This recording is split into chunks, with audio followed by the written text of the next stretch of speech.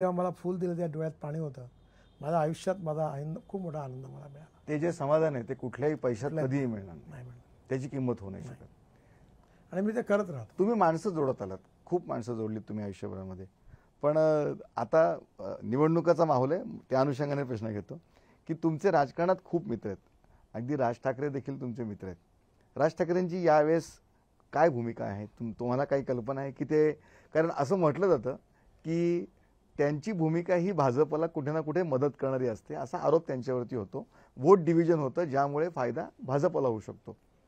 बाळासाहेब ठाकरेंचे अनेक गुण राज ठाकरेंमध्ये आहेत. हजार जबाबी आहे वक्तृत्व छान आहे बोलण्याची पद्धती उत्तम आहे. नेमकं प्रेझेन्स ऑफ माइंड देऊन केव्हा काय बोलावं आणि कमी शब्दात काय मांडावं ही त्यांची कला आहे. आणि जेव्हा ते शिवसेनेत होते बाळासाहेब तेव्हापासून त्यांच्यात ते व्यंगचित्र चित्रकार हा सगळा त्याच्यात आहे?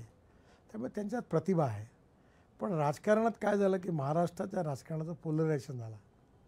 आणि जेव्हा ते पोलरायझेशन दोन तीन पक्षामध्ये होऊन जातं तेव्हा चौथ्या पक्षाला त्यात येणं अडचणीचं जातं. पण त्यांचा राजकारणाची दिशा काय ते तर तेच सांगतील. पण त्यांची दिशा काही असो ते माझे मित्र आहेत आणि मित्र राहतील. आणि ती मैत्री तेही निभवतात आणि मी निभवतो. महाराष्ट्राच्या राजकारणातलं आणखीन एक व्यक्तिमत्व म्हणजे प्रकाश आंबेडकर. प्रकाश आंबेडकरांच्या भूमिकेकडे सगळ्यांचं लक्ष लागून राहिले की हे तुमच्या विरोधकांबरोबर जात आहेत की वेगळे राहतात आणि मग वेगळे राहिले तर पुन्हा त्याचा फायदा भाजपला मिळू शकतो.